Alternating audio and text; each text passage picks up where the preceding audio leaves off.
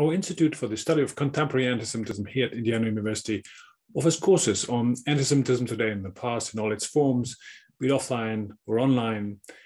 We look at the United States, but also at many other parts of the world where antisemitism was and still is in many cases uh, very much prevalent.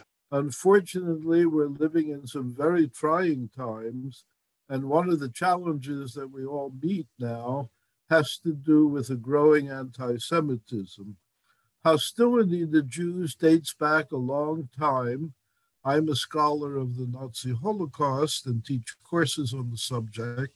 I never thought I would have to devote myself to studying, teaching about, writing about present day anti Semitism. But the fact is that there's some ugly passions out there these days directed against lots of people prominent among them Jews.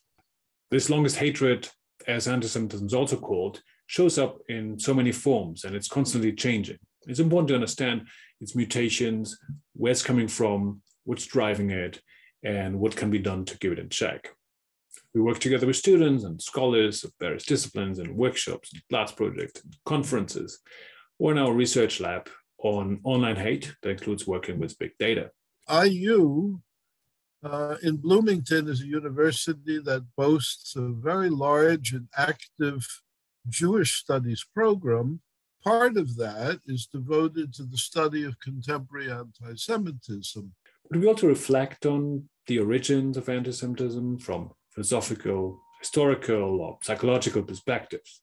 By opening people's eyes to a growing intolerance in general and a specific intolerance against Jews, we can help check the worst of this hatred.